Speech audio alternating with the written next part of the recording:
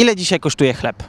A różnie, proszę pana, i 6, i 10 zł. Tak uśredniając. No, myślę, że tak w granicach 5 zł mały bochenek. Czy to dużo, czy mało? To jest dużo. Jest odczuwalny wzrost y, ceny chleba. i- proszę pana, o 50%. 4 zł. Dużo, mało? W sam raz, okej. Mój chłopski 7 zł połówka, ale to taki jest. Ale są takie, takie piekarnie, gdzie chleb kosztuje 14 zł. Ja już tyle nie jadam, pan. Nie mam problemu, taki chleb mi wystarcza na 3 dni. Ale są ludzie, którzy, którym pomagam, dzielę się na przykład. Sąsiadkę mam taką starszą panią, która ma ciężko.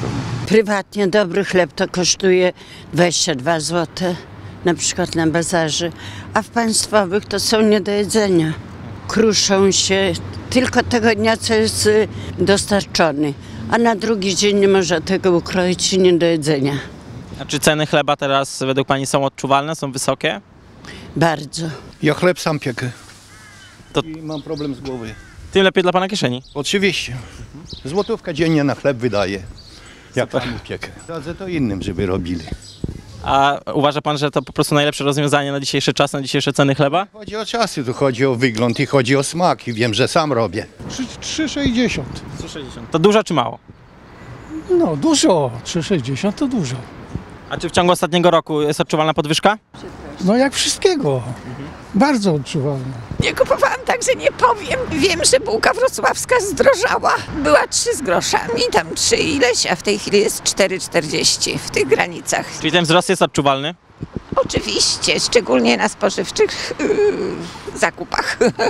No to średnio będzie 7. A Dużo, mało? Dużo. Ja kupuję po 11, po 12 i po 14 nawet. Orkiszowy i żytni najbardziej lubię gryczany. No to ten po 10-11, z lubaszki też. A e, wzrosła cena tego chleba w przeciągu ostatniego roku powiedzmy? Yy, Nie, nie zwróciłam uwagi. Czyli nie jest to odczuwalne aż tak dla Pani kieszeni? Czuwalna. Niedużo. Nie wiem, ten, który ja kupuję to 4,60 chyba. A czy ta podwyżka e, ewentualnie w zakresie ostatniego roku jest odczuwalna, czy nie? Ja nie odczuwam. Mnie to nie przeszkadza, jest dobrze. Ponad 5 zł. 6, 8 i 10 też. A powiedzmy rok temu ile kosztował? No, no na pewno ze 3 zł, nie więcej, albo mniej jeszcze. To jest odczuwalne. Każdy to czuje. Tutaj niektórzy e, emeryci mówili, że, że, że nie jest aż tak źle, że, że ta cena chleba jest w porządku. W porządku, niekoniecznie. No, ten co ja kupuję 5 zł. 4,99 chyba. A czy, a czy w ciągu ostatniego roku odczuwa Pani podwyżkę? To wie pan, po co takie pytanie? Przecież to każdy widzi. No, przecież to co dzień to coś, coś innego jest. Chodzi tylko człowiek i ceny ogląda. Czyli dla kieszeni jest odczuwa, są odczuwalne te podwyżki. Szczerze tak, bardzo. Nie wiem, po prostu nie wiem, kupuję zawsze bułki. A ogólnie cena pieczywa wysoka, niska? Proszę pana, tak jak wszystko wysoka w dzisiejszych czasach, no przecież nie oszukujmy się. Jest tak jak jest, o. 5 zł? A ogólnie e, wzrost cen podstawowych produktów? O, bardzo, bardzo, bardzo. No, za, za niewielkie zakupy 100 zł to po prostu jest norma. To, co dawniej było moim zdaniem za połowę tego. Czyli z chlebem nie jest jeszcze aż tak źle. Nie, nie, może ja akurat chleba tak dużo nie, nie kupuję, to też tak nie odczuwam, a, a zawsze dbam o wysokiej jakości chleb, żeby był żytni i po prostu naturalny. 7-8 zł. A tak powiedzmy właśnie rok temu, za ile można było kupić tak średnio bochenek chleba? 4-5 zł, jeżeli dobrze pamiętam.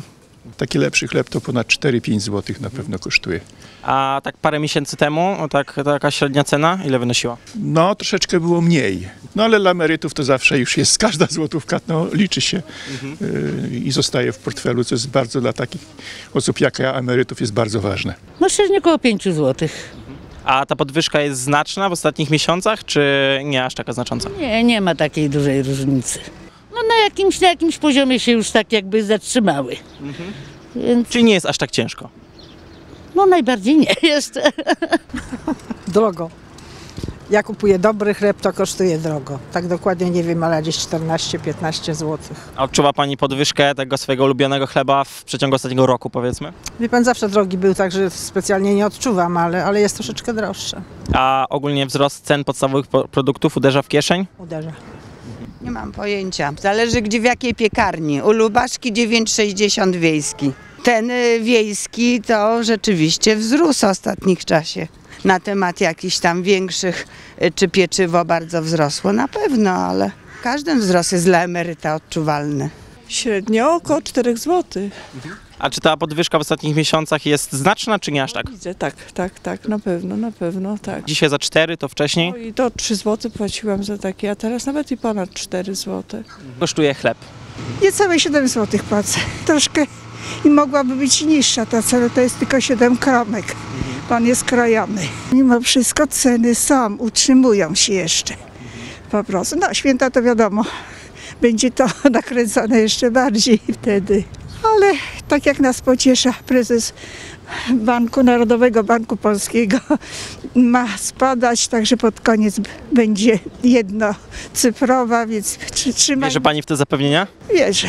Wierzę, bo z tej opcji ludzie są prawdomówni. Oni dotrzymują na ogół swoich obietnic, także. Właśnie prezes NBP mówił, że kupuje chleb po 3 zł. Myślę, Znaczy ten zwykły, to on jest tańszy, to może pan kupić i za 3 zł.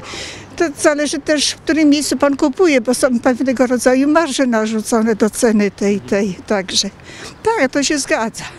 4,50 czy to dużo, czy mało? u mnie w sklepie. Dużo. Kosztowało 2,50, 2,60, teraz 4,50. No to I jest, to trochę uderza w kieszeń. czyli trochę idzie, no.